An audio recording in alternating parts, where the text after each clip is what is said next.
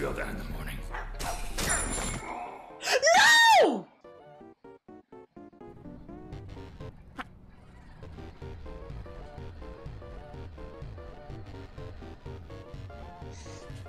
I blew myself up with a grenade.